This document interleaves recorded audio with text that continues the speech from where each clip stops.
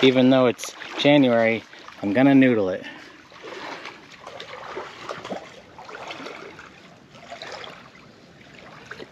Hardy har har.